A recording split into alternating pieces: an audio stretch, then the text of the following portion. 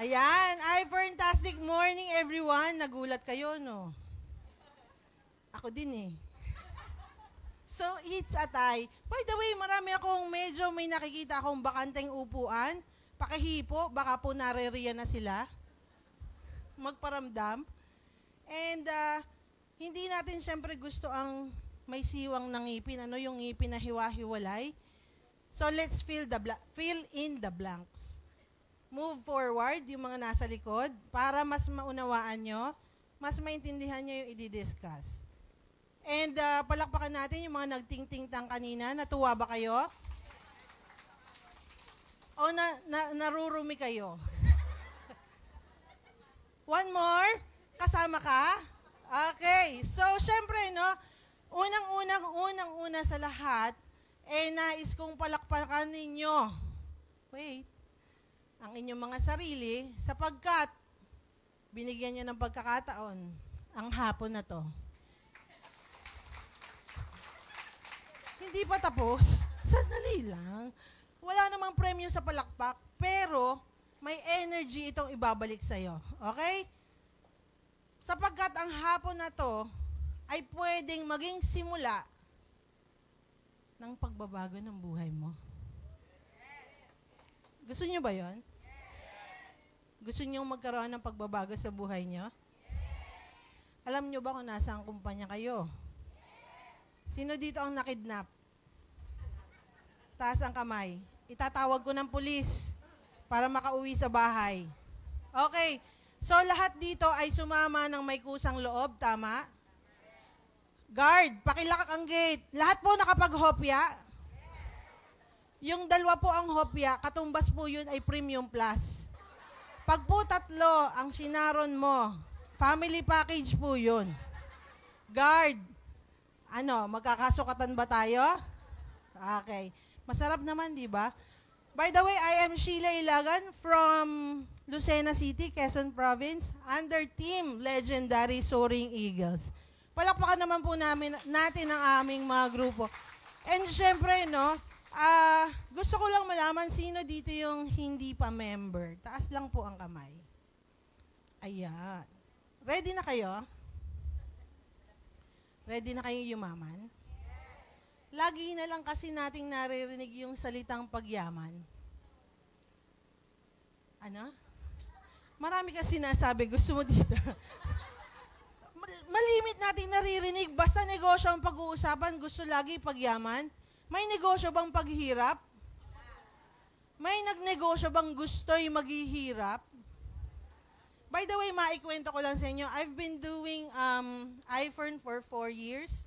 Pero ang background ko po ay traditional business owner ako, RTW, for 12 years. And then, syempre, nag-open din ako ng salon, kaya lang medyo hindi tayo pinalad sa buhay. And um, anything na pagkakaperahan, nandun ako. Ahente ako sa lupa, sa buhay. Ahente din ako ng lupa sa patay. Pati po kabaong kasama na. Libre sukat. Available po, may, may kasama akong magsusukat.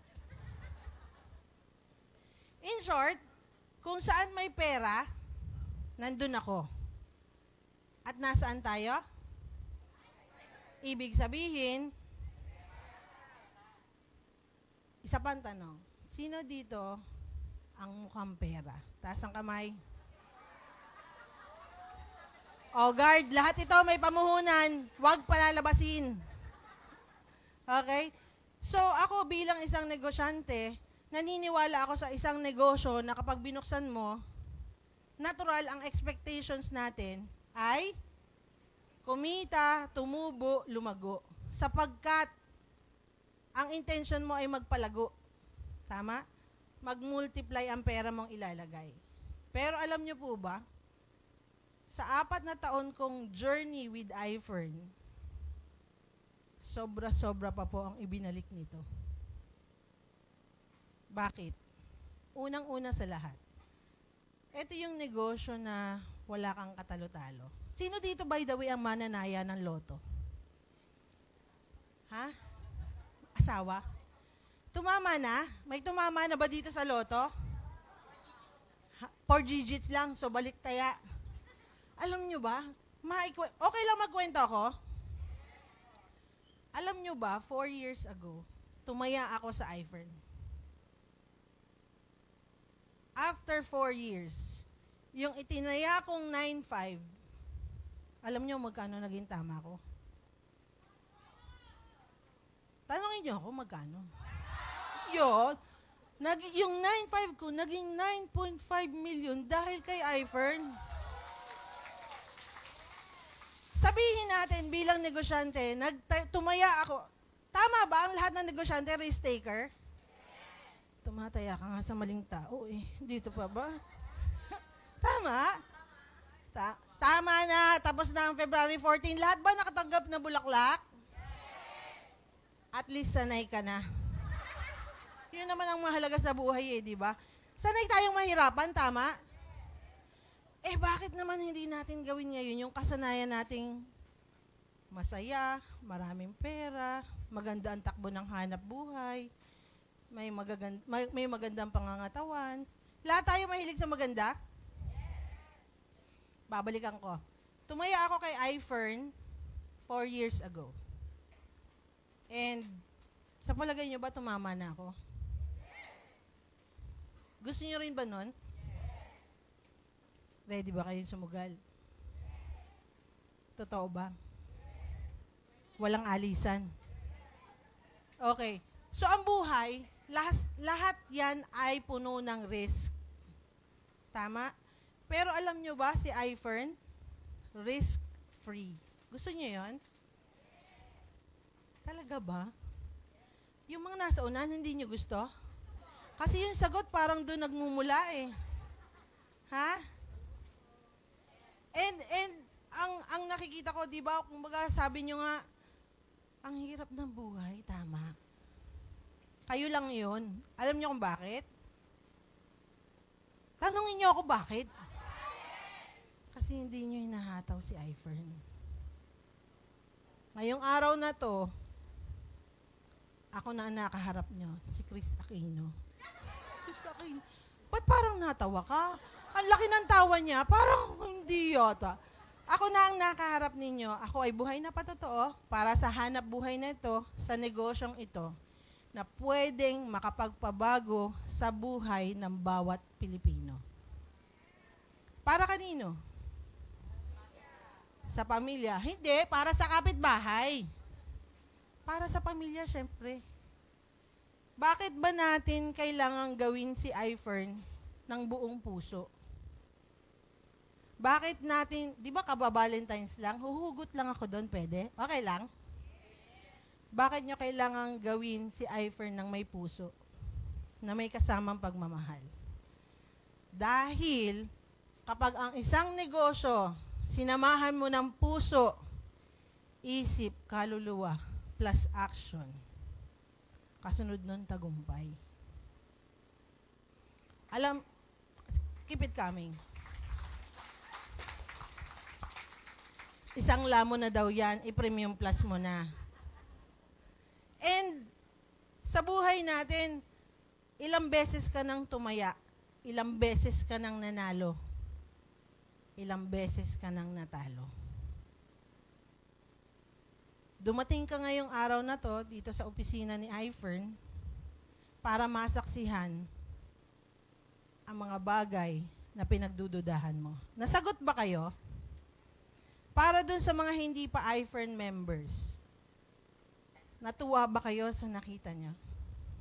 Natutuwa ba kayo sa nasa harap nyo? Ganon din ako. It's a tie.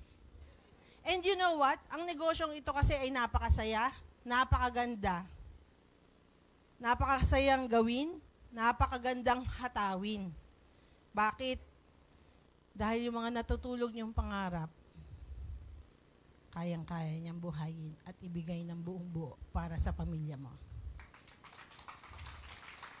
Meron lang akong ah, last five minutes na daw ako dito. Pero I'm telling you, ladies and gentlemen, if you are asking for a sign, eto na yon. Kung gusto niyo ng pagbabago, kailangan magsisimula sa iyo. Ready ka na ba? Totoong totoo. Sabihin nyo, pag uwi nyo sa araw, pag uwi nyo sa araw na ito, ipangako nyo sa sarili nyo ang simula ng pagbabago. Are you ready? Meron lang akong gustong ipakita sa inyo kung papaano, papaano nyo if-foresee yung perspective regarding iPhone. Pwede akong makahiram ng maghahawak. Alam nyo ba kung ano to? Watch and learn. Okay? Pakatitigan nyo, makinig kayong mabuti. Etong lighter na to, nagsisimbolize to bilang si Sir Tom. Kilala niyo si Sir Tom? Bilang si iPhone. At ang isang lighter na to ay nagsisimbolize bilang ikaw. Okay? Lalagay natin siya sa cup. Dadaan ng pagsubok, problema, away, pangangailangan sa salapi, pera, kalusugan, mga dagok ng buhay na hindi natin inaasahan. Pero si iFern, si Sir Tom, nandito lang. Ikaw ito. Lunod ka na sa problema, sa pagsubok sa buhay, hindi mo na alam kung ano ang gagawin mo. Pero ang ilaw ni Sir Tom, ang iFern, ay mananatiling nandito. Wait! Wala pang papalakpak. Alam ko na ang gagawin nyo. Eto si Sir Tom, eto ka. Kailangan mo lang ng tamang tao na magbibigay ng ilaw sa dilim na dinadanas mo. Mata sa langit, paa sa lupa. Mahirap maging mahirap. Alam nyo yan. Sanayin na kayo. Pero ang daan, tungo sa pagyaman, mahirap din. Kapatid, pili ka ng mahirap. Being broke is hard. Becoming wealthy is hard. Choose your hard. I am Sheila Ilagan, Senior Field Vice President and Multi-Millionaires Club of IFERN. IFERN Dasig Morning, everyone. Maraming maraming salamat po.